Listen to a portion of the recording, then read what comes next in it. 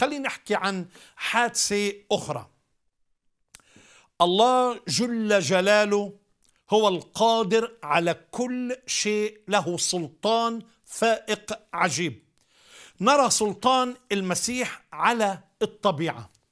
فالمسيح أمر الريح. بالعهد القديم الله أمر فاهاج ريحا. الله اللي هدأ العاصفة في مزمور 107 سلطان المسيح على البحر هدأ العواصف أسكت الأمواج والهواء وعلى فكرة مشى فوق المياه الهائج. مين بيمشي على المي أحبائي؟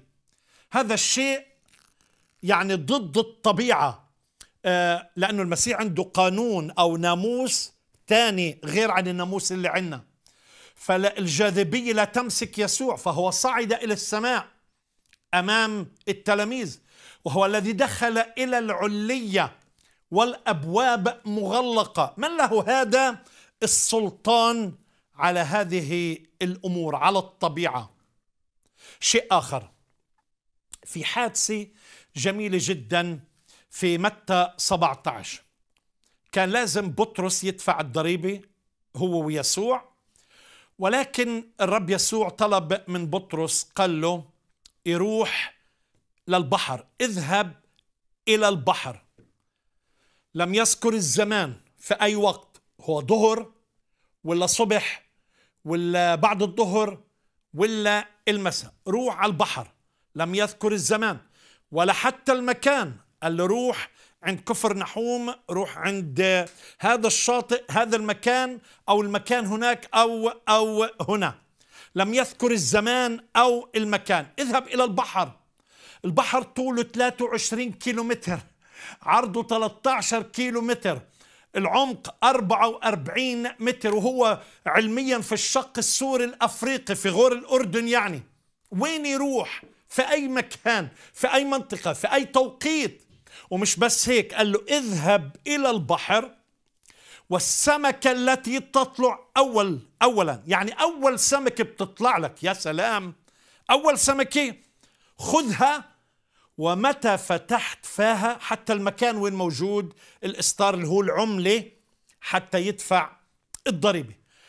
قل لي مين عنده القدرة العالم بكل شيء والقادر على كل شيء إنه لا تحد لا الزمان ولا المسافة ولا المكان وأول سمكة بتطلع. طب بلكي طلعت الثانية بلكي ما طلعش.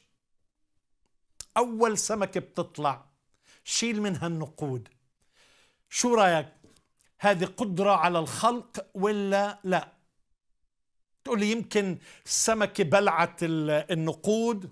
ماشي. أو يمكن خلق مثل معجزات يعني صيد السمك هو خلق ولا أحضرهم كلها من دلائل قدرة المسيح الفائقة. شيء آخر.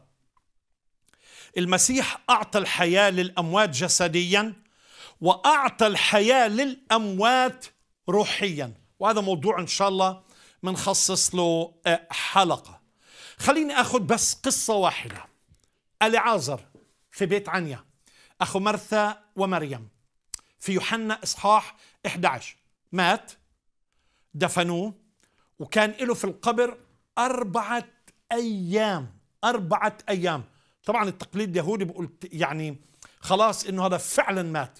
ليه؟ لأنه بيبتدي الجسد يتحلل الدم فسد. الشرايين كل الأعضاء بتبتدي تتحلل. قال يسوع ألعازر هلم خارجا. فخرج الميت أحبائي.